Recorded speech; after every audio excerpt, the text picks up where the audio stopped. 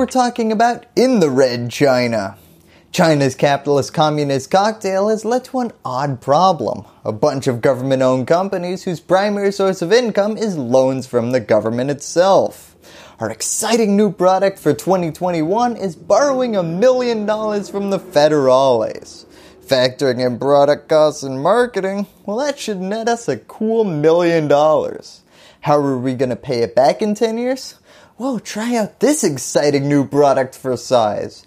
Borrowing a million and ten dollars from the government in 10 years. Now this system of financial support for state-owned companies has led to a rise in zombie firms, or unprofitable firms who would fail if not for government support. Now let me clarify something before I keep talking about it. This isn't like the United States and the USPS, where public ownership has a tangible benefit to the people. It's a bit more like if America was paying to keep all the blockbuster videos open so they could compete with privately owned Netflix. So why am I talking about any of this today?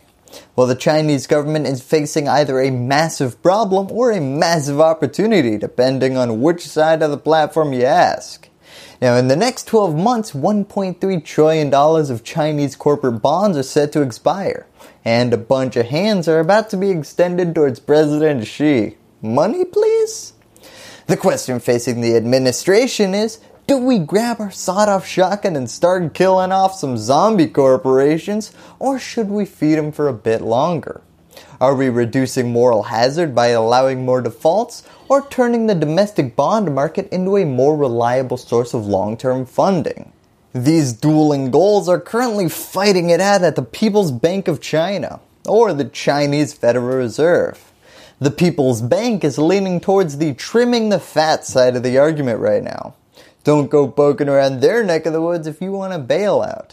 Now overall, in just a surprisingly capitalist twist, Beijing has sought to establish a more market-led approach to risk that allows competition to weed out weaker borrowers and so-called zombie firms. Yep, if you want to sell bonds in China but can't find investors, you're going to have to do it the way we do it in the free markets. Turn your logo into a Shiba and hit up Robinhood. Initial numbers from this new policy approach are in, and they're drastic. While defaults were once considered a rare occurrence in China's bond market, with many borrowers having relied on financial support or a bailout in times of trouble, the past three years have combined seen record numbers of delinquencies. Now there are a few different motivations for this complete policy pivot. Now first, for a long time there was just this weird limitation of investment for innovative companies. If you or I as a private investor could either pick a state-owned blockbuster that was implicitly backed by the government or some guy's streaming service that could fail at any moment, yeah, I'm gonna go with tradition. Now there are great innovations going on in China right now, but most of the funding has had to be tied directly to government investment and ownership. China's goal here is to steer some of that local investment towards putting money into the next big thing.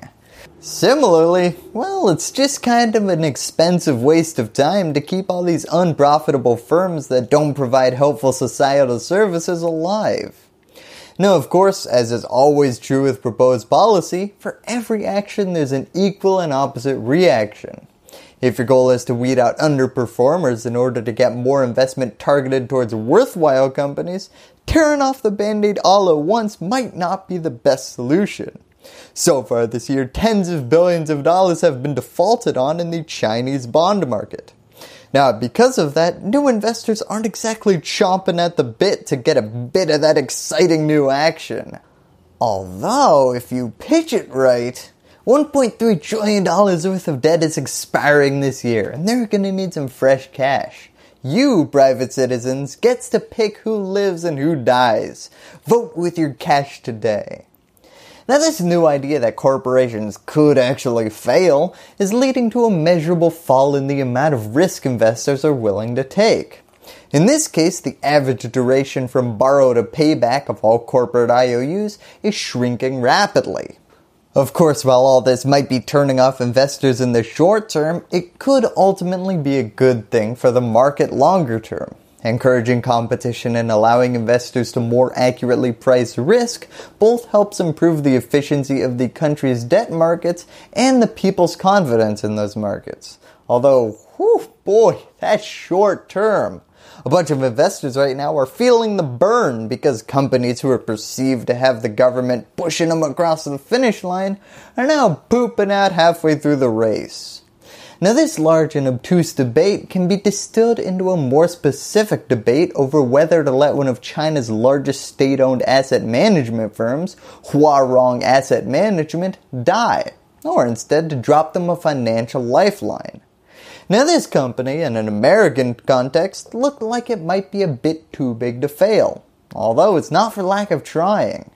Years of bad investments and a CEO so corrupt that the government executed him in 2018 have painted a big red X on the back of the state-owned bank.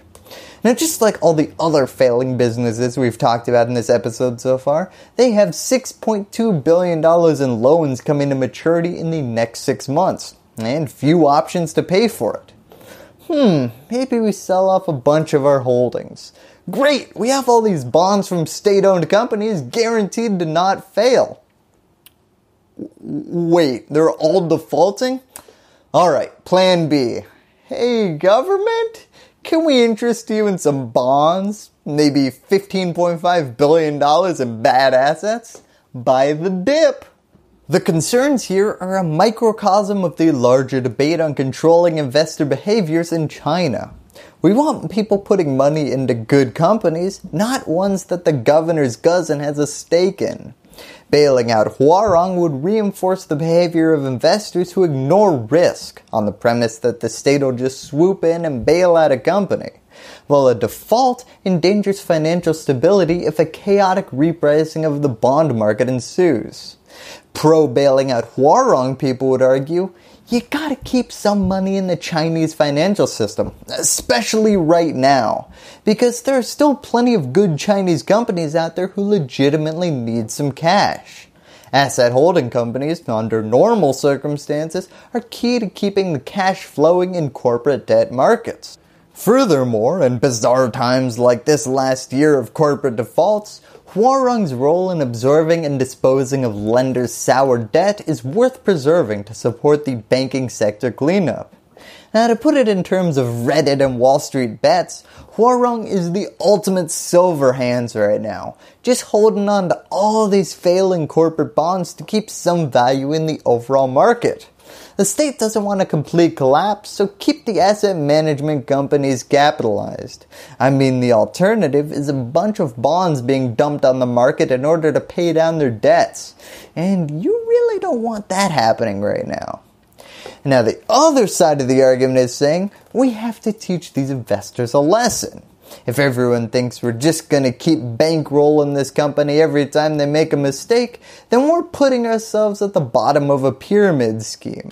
We pay the employers and they pay the investors. Now it's anticipated that bondholders will be required to take a haircut, but it will be relatively small. The goal here is less cost saving measures and more slap on the wrist to say, okay, we might have saved your butt on this investment, but don't be an idiot with your money and drive up the value of worthless companies in the future. Just because a company is state sponsored doesn't mean it's getting our unconditional support anymore.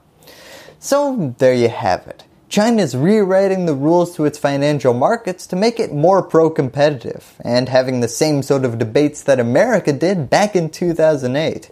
Except this time it's by choice. Now until we see the effects of their decisions, thank you and that's all I have to say about that.